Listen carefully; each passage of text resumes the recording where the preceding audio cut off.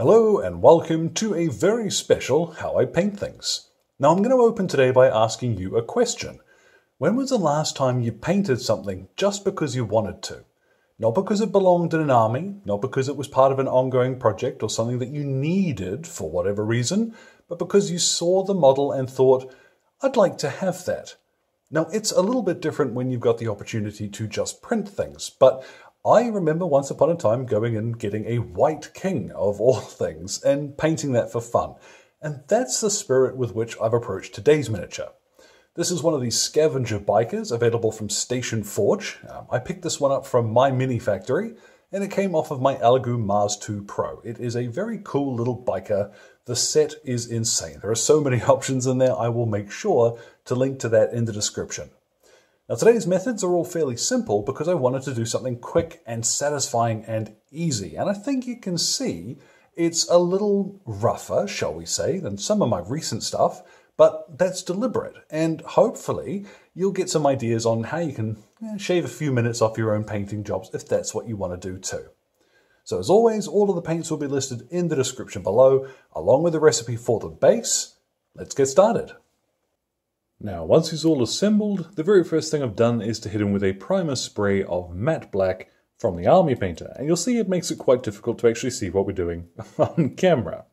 But not to worry, the very first thing we're going to do after that is to hit him with an all-over kind of a wash. I've got here some Rhinox hide, and I've watered it down in a little well, about five parts water to one part paint. Don't worry about your ratios, it honestly does not matter. What I'm going to do is basically bathe the entire miniature in this, kind of like it was Agrax Earthshade or something. Really work it into the recesses. And when this dries, like it, it looks dreadful going on. It looks absolutely awful. But when it dries, what you're going to get is just this little hint of warmth, particularly in the recesses where it catches. So it's not going to be particularly useful everywhere, but in some areas where we might struggle to reach with a dry brush or another color later on, this is going to work really well to give us some shading right back there. And yeah, you cannot put too much of this on. You can't really go wrong with it. Back in the day, we used to do this with old uh, Scorched Brown, if you remember that one. Beautiful color. But yeah, Rhinox hide is what I'm using. Um, Dryad bark would also work perfectly well. Just soak your dude in a nice thin mix. Now that will take a little bit of time to dry, but when it does, you get this very subtle brown tint in all of the recesses. Uh, up on the back of his pack here is probably the easiest place to see that, but it does change it up just a little from flat black, and that's quite nice for what I've got in mind.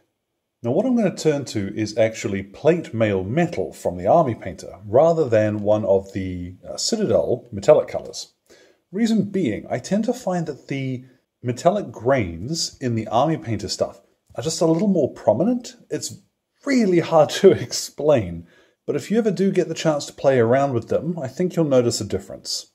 So I'm not too worried if I get quite a heavy overbrush with this. Uh, you'll see I'm getting quite a lot left behind on the handlebars there, but that is fine. All I really want is to avoid the recesses and leave that cool brown shading intact. If I don't, I'm not too worried. So I'm going to dry brush pretty much everything. The only thing I'm really going to avoid is his cape and the leather packs on the back of his uh, bike here. But otherwise, you'll see I'm just chucking it on. After a couple of passes around your bike and your uh, rider, you're going to get this finish. And hopefully you'll see what I mean about it having a slightly coarser finish. Um, I really like it. I think that works quite well, and it's going to really suit the grimy metal finish that I want. But I do want some highlights in some areas. So I have a little Necron compound, and I'm just going to pass a few times, mostly brushing down or across to catch the very high points of some of the metal details. So legs, arms and such, and we'll make those shine a little bit more. Now we do want to brighten up the hull of the bike. I'm calling it a hull is probably not quite the right word, but I had some Morghast bone. And this is going to help us with that Mars beige that we want. So you'll see this goes on fairly well, like it is going over a very dark color. but we do get some streaking. So we'll let this coat dry and apply a second. At the moment I'm using my medium base brush, but I am going to switch on down to a smaller one to get into some of these harder to reach areas. If you're finding it difficult to get a smooth coat with your Morghast bone, make sure that you are letting the coat underneath dry properly before you apply the next one. Otherwise you're going to lift up that gunk underneath and you're going to get a horrible sludgy mess. A little bit of patience there will pay dividends. I'm going to turn now to a few Vallejo colors, and I will include the names of them that are the nearest Citadel equivalents in the description. Uh, the reason why I'm using these is ordinarily because the coverage is much better. So I'm using here flat brown and I'm going to paint in all of the leather stuff. You see this goes on very quickly and that's what I'm interested in at the moment. I want to save some time with this stuff. I might do something different with the saddle, actually. I'm not sure about that being the same brown as everything else, but with keeping things simple in mind, I might just resist that urge and leave it brown. We'll see. I've got now flat red, and this is very similar to Mephiston Red. Sorry, just pausing as I get close to edges there. But as always, this one's just a little different. I tend to find flat red is a little bit less saturated than Mephiston Red, and that's kind of what I want. I do have a couple of little stray spots of red where I really do not want stray spots of red, uh, but as always, save your cleanup to your last stage. I've got now some German grey and I'm going to apply this to the wheels. And I'm also going to paint in his little trousery leggy bits up the top here. This goes on with a slight sort of blue tint to it, but it will darken down once it dries. Next up, we'll grab some Retributor armor, and I'm going to pick a few places that I want to be kind of a brassy color once we shade them. Now, it's very possible to go pretty quickly overboard with this. So I'm going to try and stick to places. Ah, I don't know. I might look for a little inspiration online somewhere. Maybe this trim. Yeah, that would look cool. And a couple of bits on the backpack. Now you'll see in some spots, like up on his shoulder there, I've made a right pig's ear of those highlights. And that's because I knew I was going to come back straight away and basically tidy those up. What I have is a little Khorne Red and I ordinarily I probably wouldn't do this, but what I want some nice deep red armor panels just to break up some of all of the silver that this dude is covered in. And yeah, I think Khorne Red is going to be the right choice for that. So I'm just going to paint in a couple of panels. The ones that I've lined in gold, basically. Now, real quick, as well as the armor panels on the rider himself, you'll probably notice I did change the color of the central of the gas tank. Um, I think that looks better in red. You know, retrospect, I probably should have done that from the outset, but I like how it breaks up the shape of the bike. I've also gone in and I have used my German grey on the handlebars, just to break up that a little bit as well. And the last color I'm going to apply, this is beige brown. Uh, this is another wonderful Vallejo color. Let me just get the right. I'm throwing them around on screen here. Um, I'm going to paint in just a little section of the pistol to look like wood. So the grip and part of the uh, worky gubbins itself. Now, once I've done this, what I'm going to do is go around, uh, grab my plate mail metal again and tidy up those uh, metal bits that I mentioned making a mess of, and any other cleanup that I need to do. And once you're satisfied that that cleanup is finished, it's time to grab your Agrax Earthshade, give it a really good shake, and we're going to apply this fairly generously over the entire miniature with a nice big brush. Don't worry about you know, being delicate with this, taking your time, really knock it on there, and just make sure that you are getting it into any gaps, nooks and crannies. I'm going to give this a pretty generous bath, and then I'm going to leave them probably 30 to 40 minutes Quite a big miniature, it'll probably take a little bit longer to dry. But yeah, let's come back and have a look at that once that stage is done. And even though you can see that's not completely dry yet, I did use quite a bit of shade after all, that's looking pretty good. I always say, the difference a shade makes, just brilliant. Now what I'm going to do, ordinarily this is where I'd crack out the detail brush and start painstakingly highlighting this dude, But that has been moving a little away from what I wanted to do with the channel in the first place, which is to show you some really quick ways of getting stuff on the table. So I'm going to bust out instead the dry brushes.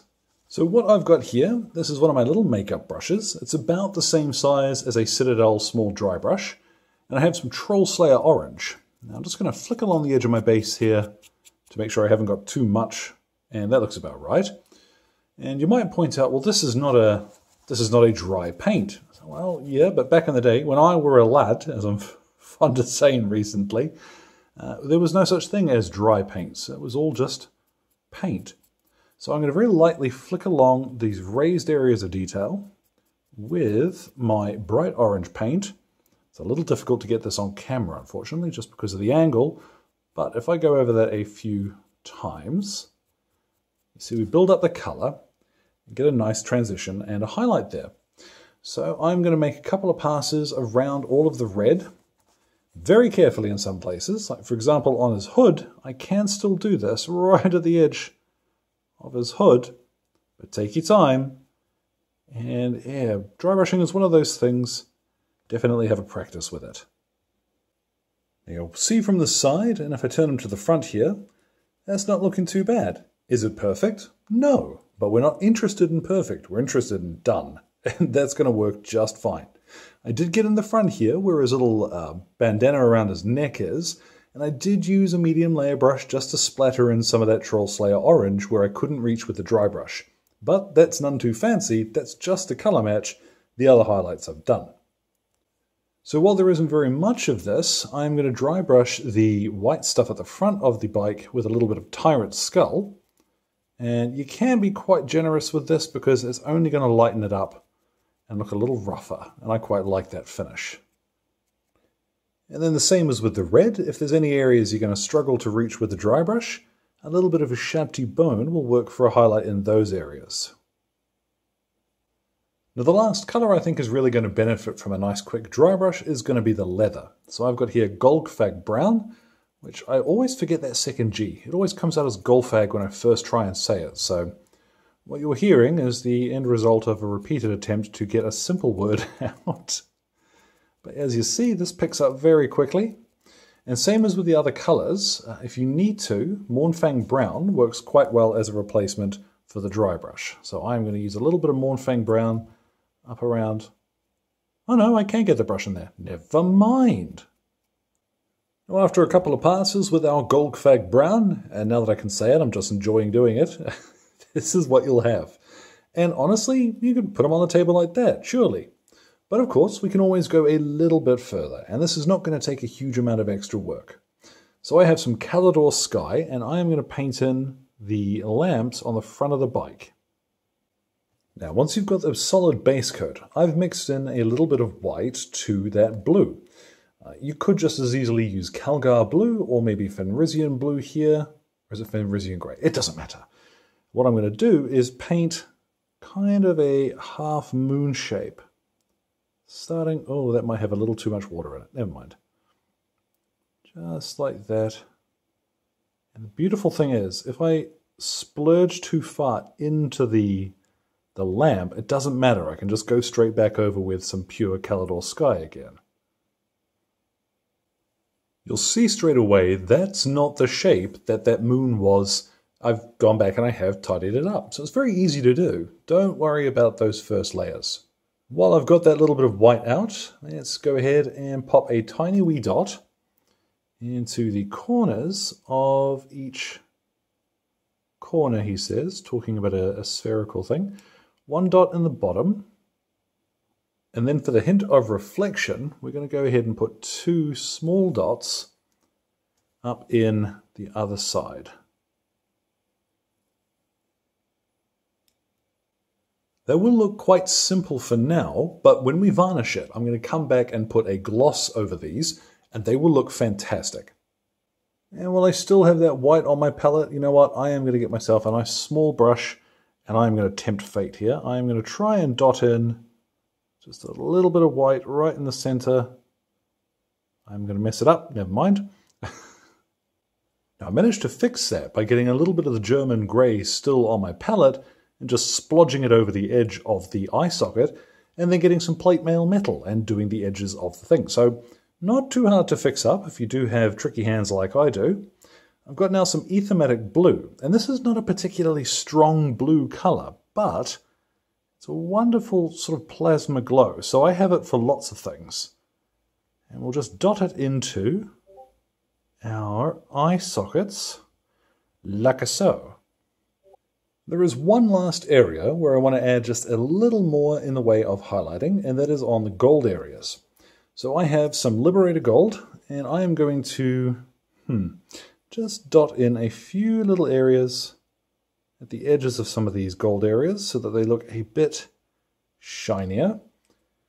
I notice I've said area a few times there. uh, but yeah, I'm not going to go nuts with this, just at corners That'll be enough to brighten this up. What I'm going to do then is take them outside, hit them with a matte varnish, except of course for the lenses that I'm going to come back and hit with some Ardcoat. And yeah, once he's got his base applied and all that fun stuff, let's get a look at what this fella looks like when he is all finished. And there at last, our scavenger biker is complete. Now I haven't painted anything for my Mechanicus army in a while, and it's kind of tempting to just go ahead and print off another couple of these. These are really cool. I thoroughly enjoy just doing something for the sake of painting a cool model. And while there's a ton of different things you could do to this, you know, you could spend a lot more time and make it look really smashing. Honestly, it was fun to just get this out and wiggle a brush around. it doesn't have to be fine art just because you want to paint a miniature. So thank you very much to Exit 23 Games for the light and sound equipment, as well as all the patrons who are keeping me ticking in paints and glue, including my wonderful producers, Alan Nuttall, Kyrie Crawford, Trainboy, Fred, and Jimmy. Your support lets me carry on doing fun stuff like this. Any questions or anything, feel free to drop them in the old comments box below. My Twitter and Instagram are both linked there too. So thank you very much for your time, one and all, and you all enjoy the rest of your day.